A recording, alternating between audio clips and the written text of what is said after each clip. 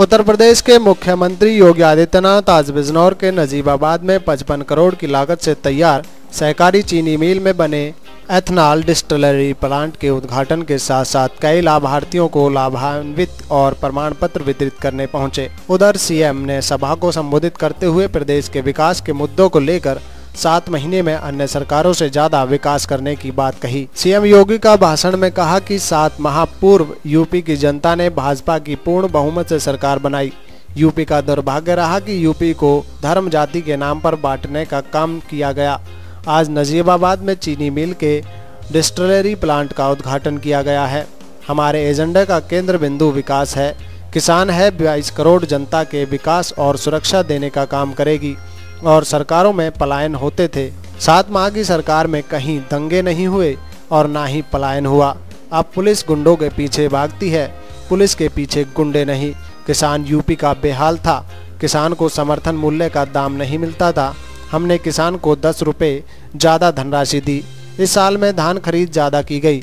गन्ना किसान हमेशा तबाह होता था, लेकिन हमने अब तक पच्चीस हज़ार करोड़ का भुगतान किया है। किसी को किसान के साथ खिलवाड़ करने की छूट नहीं दे सकते।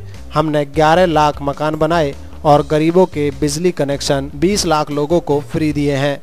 उन्होंने कहा कि भारत सरकार की अनुमति लेकर खनन की प्रक्रिया को नियमानुसार किया जाएगा। किसी माफिया को हावी नहीं होने दिया जाएगा और किसी विकास कार्य में रुकावट न आए, उसकी परमिशन प्रशासन को देनी चाहिए। और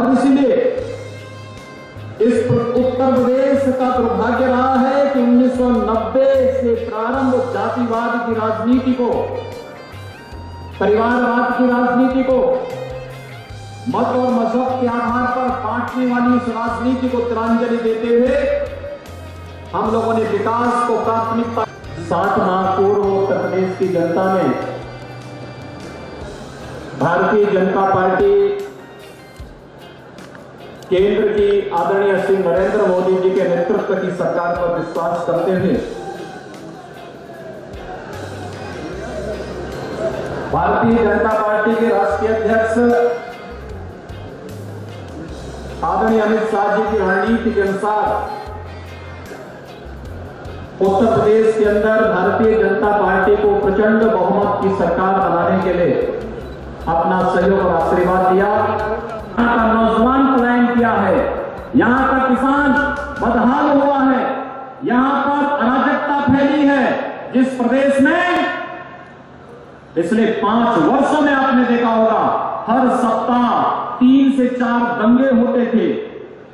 जिस प्रदेश में व्यापारी अपराधियों के भय से पलायन करने के लिए मजबूर होता था, मैं कह सकता हूँ, पिछले सात महीने के दौरान उत्तर प्रदेश के अंदर कोई दंगा नहीं हुआ और किसी ने दंगा करने का प्रयास किया तो उस दंगाई को ठिकाना लगाने का कार्य भी सरकार ने और प्रशासन ने किया है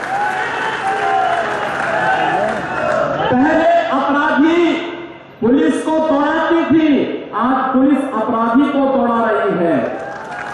पहले उत्तर प्रदेश का व्यापारी भागता था, आज उत्तर प्रदेश से अपराधी भाग रहे हैं। यही अंतर देखने को मिल रहा है।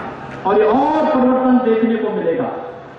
इन सात महीनों में हम लोगों ने उत्तर प्रदेश के अंदर छियासी लाख किसानों का को माफ़ किया है। एक लाख तक का लघु और सीमांत किसानों का छत्तीस हज़ार करोड़ रुपए का फसली ऋण माफ़ किया है। तीसरे चरण की हमारी कार्रवाई चल रही है, जिस पे अभी हम लोगों ने यहाँ के किसानों का एक एक लाख रुपए जो माफ़ हुआ, उसके प्रमाण पत्र बांटे हैं। इस कार्यक्रम के बाद जो किसान नीचे होंगे, उन सभी किसानों को भी वह प्रमाण पत्र वितरित होगा। छियासी लाख किसान सात महीने में कोई सरकार करेगी?